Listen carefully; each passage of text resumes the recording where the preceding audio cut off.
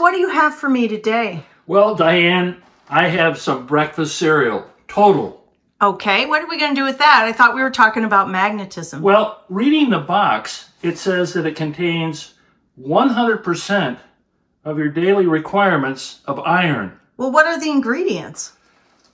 Uh, grain, wheat, sugar, honey, salt, vitamin E, None of those, none of those No, contain no iron. No iron. Yet it's it says right here that it contains all the iron you need every day. So how do they get the iron in there? I wonder. Can we maybe find it?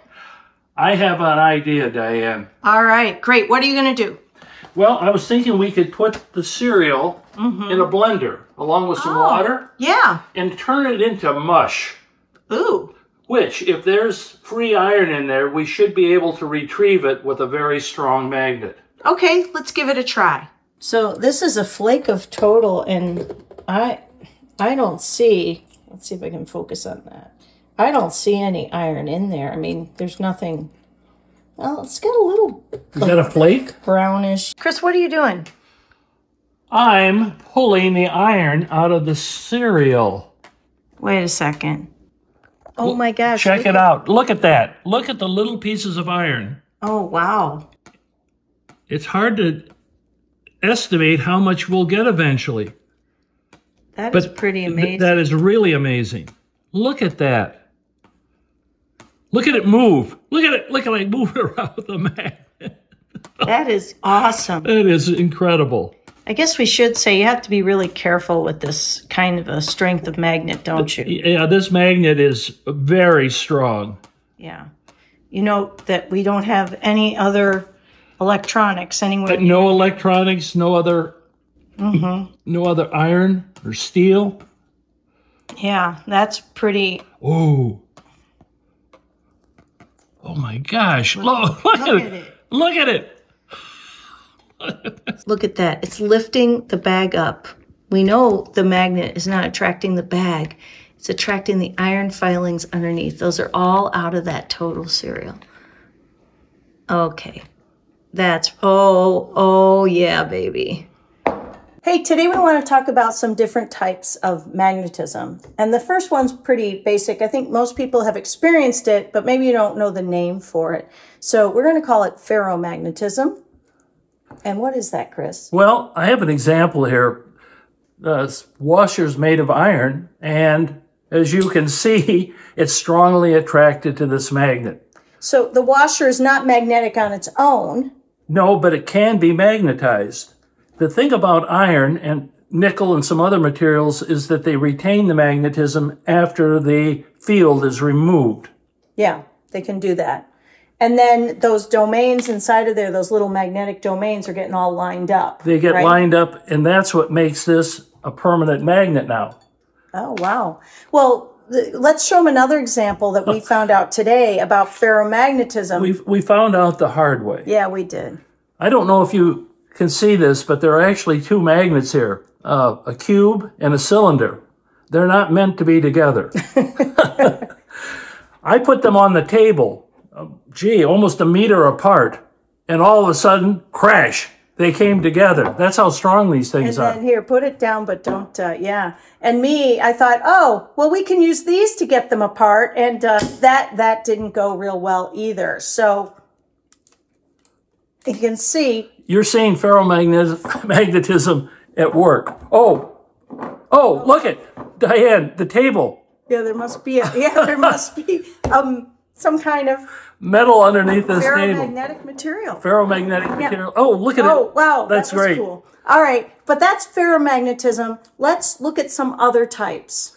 And they would be uh, Para, paramagnetism and dia. diamagnetism. Yeah, we're going to take a look at those. This is kind of an interesting demo that I've got here. Basically, a tub of water and a little tube of water. And watch what happens.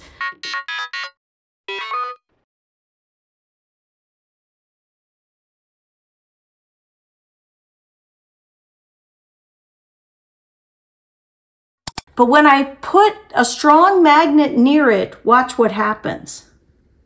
Okay, I'm not going to touch it.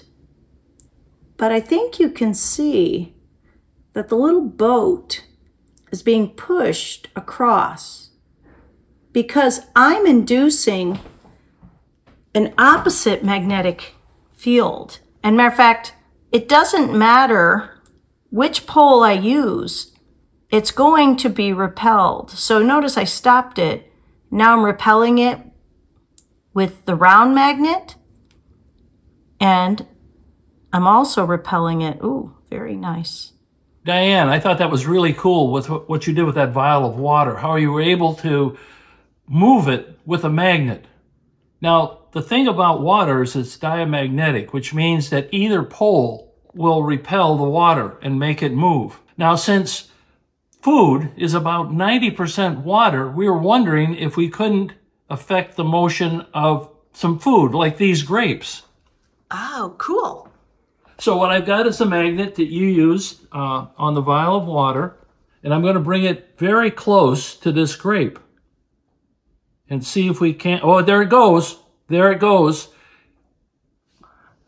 Okay, let me get.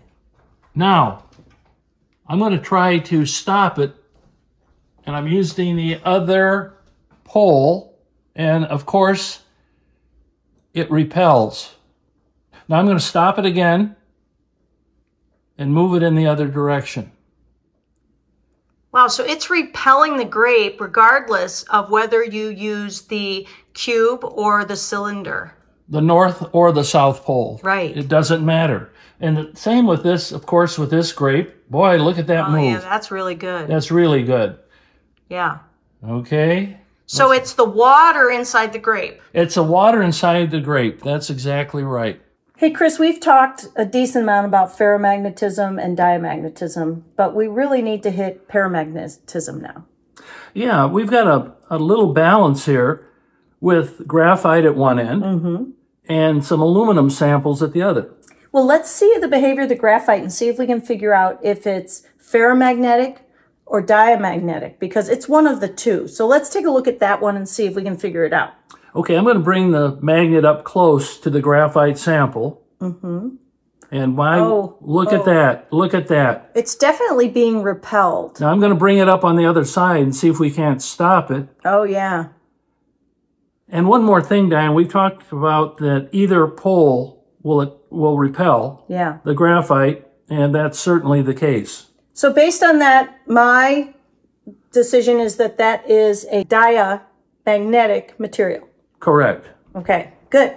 All right. So the other side you said was aluminum? It's aluminum. Okay. And aluminum is paramagnetic, which means that it's weakly attracted to a magnetic field. So I'm going to bring the magnet up and see if we can't witness some attraction. Oh, yeah. Okay? Look at that.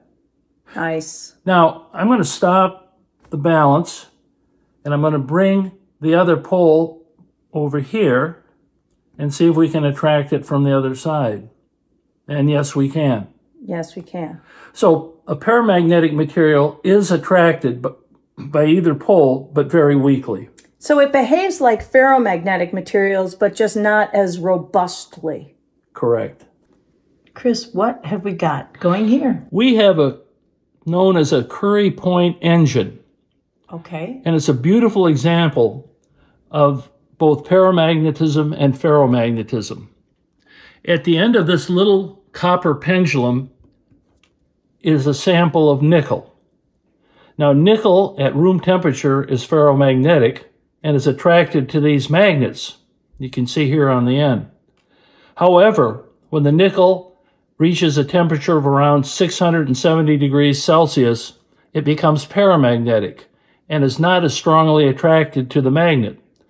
So what's going on here is first it goes in the flame, becomes paramagnetic, falls, but then it cools rapidly and is again attracted because it is once again ferromagnetic. So it goes between those two states quite rapidly, as you can see. Wow. Yeah, it's quite something. But it's a beautiful example of the two types of magnetism working in concert. Yeah. Very cool.